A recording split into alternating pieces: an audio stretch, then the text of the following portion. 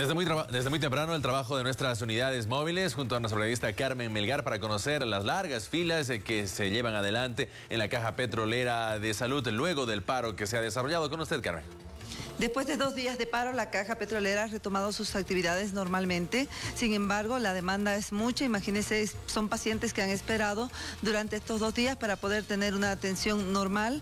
Vamos a conversar con algunos de ellos que además han madrugado, como siempre, para poder eh, recibir eh, una ficha y poder tener una atención. Señor, ¿qué le parece este tema de los paros? ¿Y qué es lo que piensan ustedes lo que está pasando en el sistema de salud?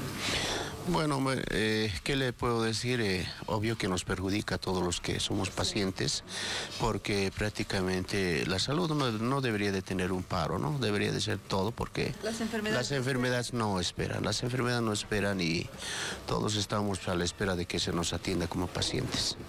Sin embargo, ustedes conocen de que esta movilización ha sido precisamente en apoyo de médicos que han sido enviados a la cárcel en Santa Cruz, los médicos en La Paz, primero a través del Colegio Médico y luego también de la Seguridad Social, como la Caja Petrolera, han expresado su respaldo y han pedido garantías para el ejercicio de la profesión médica. ¿Qué es lo que usted piensa de toda esta movilización, estos paros que hay ahora? Que nos perjudica y necesitamos la caja, porque yo necesito medicamentos para mi hija controlados que no los puedo comprar y obviamente tengo que acudir a la caja y ahora he salido a las 3 de la mañana para una ficha y el doctor que me atiende no vino.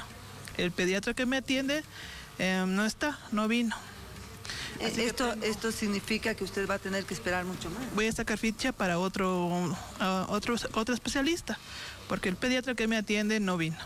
Y miren precisamente, Pablo, esta situación muestra exactamente las dos caras de la moneda. Por un lado, los médicos que demandan garantías, que piden ejercer la profesión de una manera eh, normal, que no se los envía a la cárcel, que no se...